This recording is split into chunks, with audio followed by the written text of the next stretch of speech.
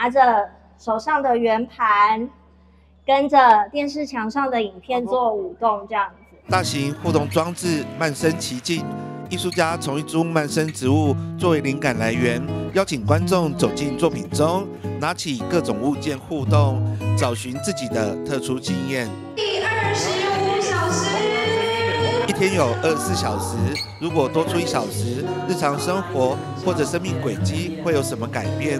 金融美术馆首档国际展览第二十五小时，邀请了法国、德国、香港、日本、韩国，总共十七位主艺术家，借由他们日常的特殊生命经验，带领观众游走探索不同时空。在这一次的策展，我们邀请了七个国家以及十七位的一个艺术家，他们都非常具有实力。像我们这次有去跟黄密度借展，还有就是也有请那个专门呃，曾经我们有一个日本艺术家，他其实是代表日本去参加威尼斯策展，也都非常的感谢他们能够这次来一起来我们基隆展现这样的一个国际不一样的一个呃艺术作品。两位策展人林玉娟、黄玉杰和是多位艺术家之间谈话，谈起经历过一段特殊的生命经验之后，延伸出另一个时空。其实，在这几年，不管是天灾人祸，或者是各种灾难、疫情情的情况下，其实大家的生命轨迹都产生了不一样的变化。所以，我们就觉得这第二十五小时好像是在这个时间跟空间里面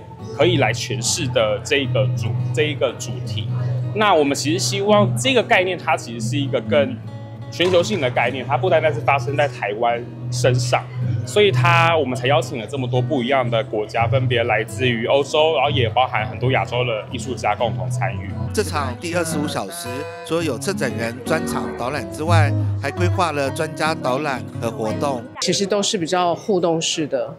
互动式的作品，比较没有呃，比如说画作啊、书画，就是希望大家可以好像来美术馆是来玩。基隆美术馆首档国际展第二十五小时，即日起展出到十二月一号，欢迎民众前来欣赏，借此思考自然、人类、身体、空间之间的互动。记者黄少明用报道。